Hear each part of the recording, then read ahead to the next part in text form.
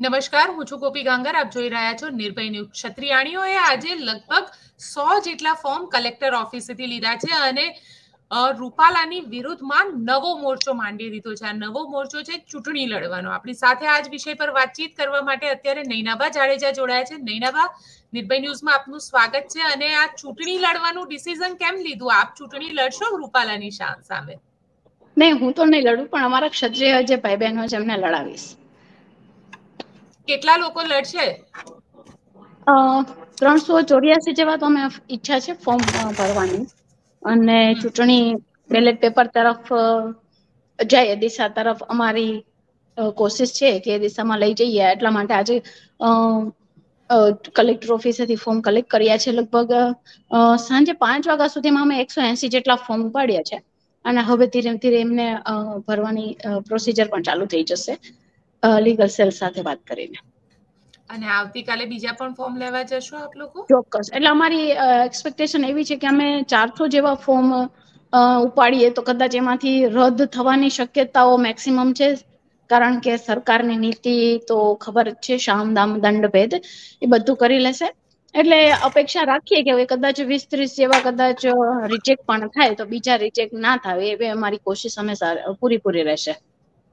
અચ્છા નૈનાબા ગઈકાલે જે રીતનું આખું ઘટનાક્રમ થયો હતો, એને લઈને આપનું શું કહેવું છે? કારણ કે ક્ષત્રિયાણીઓ જે ત્યાં આગળ વિરોધ પણ હજી કરવાનો શરૂ નહોતો કર્યો, ત્યાં ઊભા હતા અને તેમને સાડી ખેંચવામાં આવી અને જે રીતે લઈ જવામાં આવ્યા.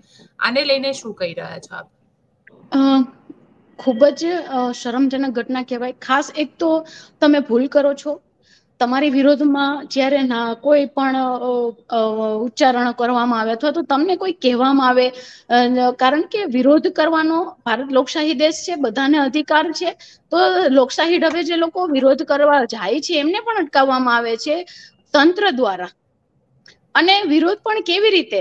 કે ભાઈ શાંતિથી લોકો નારા લગાવતા હોય છે ત્યાં ઊભા ઊભા તો પણ આ લોકોને કે એ નારા પણ નથી લગાવવામાં દેતા આવતા. તંત્ર એમને એમની સાથે ઝપાઝપી કરતી હોય છે અને કાલનું દ્રશ્ય તો કહેવાય કે બહુ ખરેખર બહુ ખરાબ અને ભયંકર જ હતું કે ઘણી મહિલાઓને ઈજા પણ થઈ છે.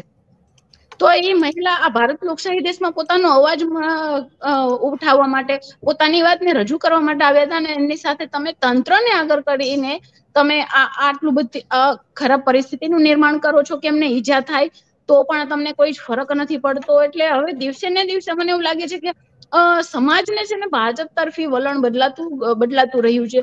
કારણ કે અત્યાર સુધી એવું માનતી હતી કે ભાઈ બહુ એમ ચાહકો હતા. સમાજના બહુ બહોળો વર્ગ એનો ચાહક હતો. તો એમાં ક્ષત્રિયાણીઓ પણ હતી, મહિલાઓ પણ હતી, પણ જે દિવસે ને દિવસે એમની સાથે ખરાબ બિહેવ થતા જાય છે, જે ખરેખર ખરાબ જ કહેવાય કે એમની સાડીઓ ખેંચવામાં આવે છે. અમારા શેખાવતભાઈની પગડી હાથે કરીને જે ફેંકી દીધી. જામનગરમાં મહિલાઓ સાથે દુર્વ્યવહાર કરવામાં આવે છે, એમની સાડીઓ ખેંચવામાં આવે છે, એમના વાળ ખેંચવામાં આવે છે. તો આ બધું બહુ દિવસે ને દિવસે ખરાબ પરિસ્થિતિનું નિર્માણ તમે કરી રહ્યા છો. અને અમને હજી ઉગ્રતા તરફ તમે લઈ રહ્યા છો કે ભાઈ તમે ઉગ્ર થાઓ. અમે શાંતિથી અમારું અમારું આંદોલન કરી રહ્યા છે અમારા વિચારો તમને કહી રહ્યા છે તમારો વિરોધ પણ તમે ક્યાંક ને ક્યાંક એમ ઈચ્છો છો કે રાજપૂત સમાજ તરફ આગળ વધે. આ બધા ઇન્ડિકેશન અમને એવું લાગી રહ્યા છે કે લોકો ઉશ્કેરે છે કે તમે આવું કરો. નહીતર જે મહિલાઓ અને મહિલાઓ જ હતી ને ક્યાં પોતાની સાથે કઈ લઈને ગઈ હતી એવી વસ્તુઓ? કોઈની પાસેથી એવી વસ્તુ તો નીકળી નથી કે ભાઈ હા દંડા કે ધોકા કે એવું લઈને ગયું હોય. તો સ્વાભાવિક છે કે પોલીસ તંત્ર એની સાથે હાથાપાઈ કરે ને આવું બધું થાય. પણ શાંતિથી વિરોધ પ્રદર્શન કરી રહ્યું હોય એની સાથે તમારે જબાજબી કરવાની શું જરૂર પડે? એમની સાડીઓ ખેંચવાની જરૂર પડે. તમે કહી રહ્યા છો કે ઝપાઝપી કરવાની શું જરૂર પડે? પરંતુ સવાલ અહીંયા એ ઊભો થઈ રહ્યો છે કે મહિલાઓ ત્યાં આગળ વિરોધ કરવા ગઈ કારણ કે જો ગમે ત્યારે પણ આવી રીતે વિરોધ થાય તો તેમની અટકાયત કરવામાં આવે છે. એ વિદ્યાર્થી આંદોલન હોય પછી બેરોજગારોનું આંદોલન હોય. અગ્રી કે એ લોકો અટકાયત કરી શકે છે કાયદો વ્યવસ્થા જાળવવા માટે કરી શકે છે. પણ એમના જે એક બે લોકો છે મહિલાઓને ધક્કામુક્કી કરી અને તમને સ્વાભાવિક છે કે ભાઈ આ લોહી ગરમ હોય, તમે શાંતિથી વાત કરો, ત્યાં સુધી ચાલે. પછી તમે ઉગ્રતા તરફ જાઓ, એમને પુશ કરો, ધક્કા મારો, તો એ કોઈ સહન ના કરે. પછી તો સામેથી જવાબ પણ એવો જ આવવાનો હોય. તમે અટકાવી શકો છો, કોઈ વાંધો નહીં. તમે રિક્વેસ્ટ કરો, ભાઈ બેન, ન કરો. પણ તમે ડાયરેક્ટ આવીને ધક્કા જ કરો છો. આ તો અમે પણ જોયેલું છે. તમે ડાયરેક્ટ આવીને બસ ધક્કા મૂકી કરો છો, પાછળ પુશ કરો છો, મહિલાઓને. તમે હાથ ખેંચો છો, બાવડા ખેંચો છો, તો તમે શું કામ કરો છો? તમે પણ રિક્વેસ્ટ કરી શકો છો ને કે ના કરો? સો ટકા અમે અમારો વિરોધ કરવા જ ગયા હતા તમે કાયદો વ્યવસ્થા જાળવવા માટે અટકાયત કરી શકો છો, માનીએ છીએ. પણ એની કોઈ એક ઢબ હોય કે ભાઈ તમે તમારી વાત કરી શકો અથવા તો મહિલાઓને આગળ કરો, તો પુરુષ, તો પુરુષો આગળ આવી જતા હોય છે. અને જામનગરમાં તમે જોયું કે ભાઈ બૈરાવના બાવડા પણ ખેંચ્યા. એનું રીઝન એ હતું કે ભાઈ ત્યાં સામેથી પુશબેક થયું હતું.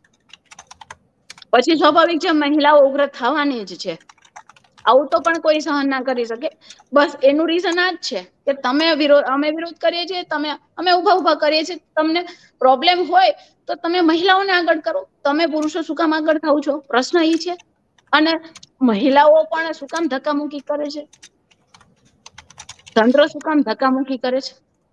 નૈનાબા પણ સવાલ અહીંયા થોડું ઘણું. પણ ગોપીબેન હું એવું માનું કે આ થવાનું હોય બરોબર છે કોઈ આંદોલન આંદોલન છે આંદોલનમાં બધું થતું હોય. પણ ત્યાં એવું બધું ના થવું જોઈએ કે ભાઈ સાડીઓ નીકળી જાય. પછી તંત્રની મહિલાઓ પણ જેમને સમજવું જોઈએ કે ભાઈ ત્યાં થોડી ઢીલ દેવી જોઈએ. તો એ લોકો પણ પોતાની જગ્યા છોડી દે. બિલકુલ નૈનાબા અને એક છેલ્લો સવાલ આપને પૂછી લઉં. કારણ કે જે રીતે આજે કાઠી રાજપૂત સમાજ જે છે સમર્થનમાં આવ્યો છે. પુરુષોત્તમ રૂપાલાનો સમર્થન કર્યું છે. એને લઈને શું કહેશો આપ? પહેલે મારે એમને એ પૂછવું છે કે આ સમગ્ર કાઠી સમાજ છે, કારણ કે હમણાં એક મેં ડિબેટ કરી એમાં જે અમારા પીટીભાઈ છે, એમના તરફથી એવું નિવેદન પણ આવ્યું છે કે સુરેન્દ્રનગરનો જે કાઠી સમાજ છે, અમારી સાથે છે. એમણે લેખિતમાં આપ્યું છે કે ભાઈ, અમે તમારી સાથે છીએ. તમે તકલીફમાં પણ અમે સાથે હતા અને તકલીફમાં છેડ સુધી અમે તમારી સાથે જ છીએ. એટલે મારે એ પૂછવું છે કે કોઈ એક શહેરનું છે કે ભાઈ સમગ્રનું છે? કારણ કે પછી આ નિવેદન આપ્યા પછી એ સમાજને પણ કોઈ ઠેસ લાગે એવું અમે નથી ઈચ્છતા. આની પેલા ડિબેટમાં મારે વાત થઈ હતી ભાઈ સાથે. ત્યારે પીટી ભાઈ નું એક નિવેદન આવ્યું છે કે ભાઈ સુરેન્દ્રનગર નો કાઠી સમાજ સાથે છે. ઓકે. તો જે અમારી સાથે છે અમે એને સાથે લઈને ચાલીએ. અને જે સાથે ના હોય તો એમને કોઈ બીજું તો કઈ ના કહી શકીએ બટ જે સાથે છે એની એની ખુશી મનાવીએ અને આગળ ચાલીએ. અને અમે તો ઈચ્છીએ છીએ કે હજી પણ અમારી સંકલન સમિતિના લોકો બીજા લોકો સાથે સંપર્ક કરે અન્ય સમાજને અન્ય સમાજ સાથે મીટિંગ કરે અને અન્ય સમાજને સાથે લઈને ચાલે. અને જો બની શકે તો ચૌદ તારીખે પણ અન્ય સમાજને ત્યાં આમંત્રિત કરે. જી જી ભાંગ તોડની નીતિ ભાંગ તોડની નીતિ જે ભાજપની છે એ એનું કામ કરવાની જ છે. એને એનું કામ કરવા દો પણ અમારું જે ફોકસ છે કે ભાઈ લોકોને સાથે લેવાનું અમે એ દિશામાં આગળ વધશું. અચ્છા લોકોને સાથે લઈને ચાલશો પરંતુ આ ડિવાઇડ એન્ડ રૂલની જે ભાજપની નીતિ છે એના સામે તમે શું કહેશો? પણ ગોપી એમાં તો અમે કઈ ના કરી શકીએ ને એનો પહેલેથી જ નિયમ છે કે ભાગલા કરો ને રાજ કરો જે અંગ્રેજોના નીતિ નિયમ પ્રમાણે ચાલે જ છે સરકાર. તો જેને જવું હશે એને અમે નહીં રોકી શકો. કોઈ પણ વસ્તુ છે અમારા પણ સમાજના લોકો ત્યાં છે જ અમુક. તો તમે એને લઈ આવી તો નહીં શકો કે ધરાર મનાવી તો નહીં શકો. તો એ જે કરે છે એમને કરવા દો. કારણ કે આ ભાજપ સરકાર પહેલેથી ડિવાઈડ એન્ડ રૂલની નીતિ અપનાવતી જ હોય છે. ભાગલા પડો અને રાજ કરો, તો અમારા સમાજના પણ ત્યાં છે જ. અમારા સમાજના પણ ત્યાં છે. એમને નહીં લઈ આવી શકીએ. કોઈ વાંધો નહીં. પણ જે ખરેખર, જે લોકોની સંવેદનાઓ તમારી સાથે છે અન્ય સમાજની સંવેદનાઓ અમારી સાથે છે. જેમ કે ભાઈ, બ્રાહ્મણ સમાજ છે, પટેલ સમાજ છે, પટેલના બંને સમાજ છે, તો પ્રજાપતિ સમાજ છે, માલધારી સમાજ છે, ભરવાડ સમાજ છે. અમે એ પણ આશા રાખીએ કે બધા સમાજો અને અન્ય પેટા જ્ઞાતિઓ છે એ પણ અમારી સાથે જોડાય અને અમને સહકાર કરે. કારણ કે આજ અમારો વારો છે. કદાચ કોને ખબર શું થઈ શકે? જો આવડો મોટો સમાજ હોય, તમારી અસ્મિતા માટે પણ આટલો લડતો હોય અને ભાજપને ભાજપ માટે ઘણું કર્યું છે. હિન્દુત્વ બચાવ માટે પણ રાજપૂત સમાજ એટલું જ યોગદાન આપ્યું છે. છતાં પણ જો સરકારને કઈ ફરક ના પડતો હોય તો બીજા સમાજે પણ વિચારવા જેવું છે. અને એના બાપ અમારી સાથે જોડાયા. તેના માટે આપનો ખૂબ ખૂબ આભાર. ધન્યવાદ. તો આપને અમારો રિપોર્ટ કેવો લાગ્યો? કોમેન્ટ બોક્સમાં ચોક્કસથી જણાવજો. અમારી ચેનલ નિર્ભય ન્યૂઝને લાઇક શેર અને સબસ્ક્રાઇબ કરવાનું ભૂલશો નહીં. આભાર.